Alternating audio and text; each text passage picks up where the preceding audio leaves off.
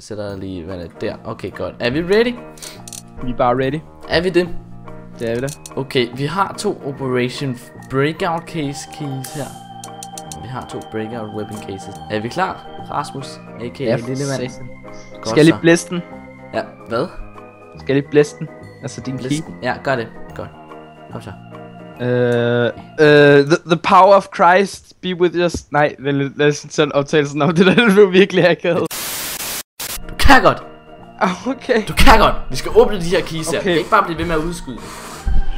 Udskyd det, det første tager den her optagelse. Shh, det er lige meget. Du kan Okay. godt. Blæs den. Kom. Kom, kom. Okay. I bless you. I bless you. Blød dum.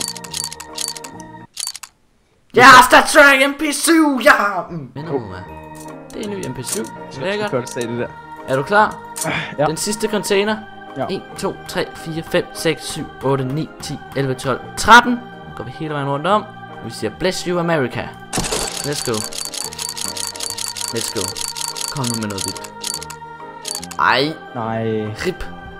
Rip, rap og rup. Den er 4 testet. Hvad er det for noget? Mange gange du tilbage nu. Hvad er det for noget? Skal vi lige købe to keys mere, Rasmus?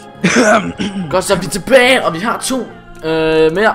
Nej, vi kan lige gøre sådan her. Vi har to shadow cases mere. Eller ikke mere. Vi har den to shadow cases nu. Før var det breakout, og nu har vi øh, to shadow cases key også. Så ja, Mm. let's motherfucking go. Vi tager den sidste key, fordi den er god, og den sidste case, fordi den er også rigtig god. Ja, okay. Så virker det ikke at trykke 13 gange, så vi trykker 12 gange. 2, 3, 4, 5, 6, 7, 8, 9, 10, 11, 12. Går hele vejen rundt om. Og så siger vi bless you. Øh, hvad siger vi bless you til? Kæft, hvor har du meget OCD egentlig. Nej, okay. Uh, Bless, bless you.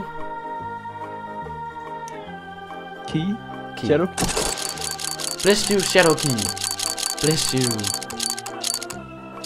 Ej. Ej, jeg kan godt mærke, det er min Ej. negative attitude, der ikke... Uh... Ja, jeg tror også, det er din negative attitude.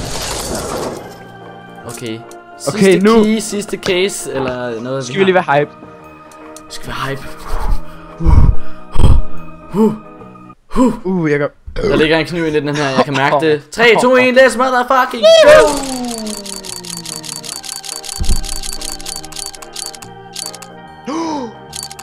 Er det meget værd? En Ebola Crusader, mand.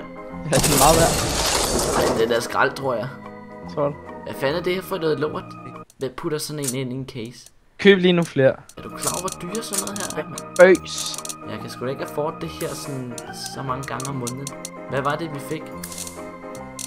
Vi fik en øh, Ebola Crusader, men være. Ja. ja. ja. Fuck, den er grim. Men tak fordi I så med. Rasmus, skal du sige noget? Øh, nej. Vi ses!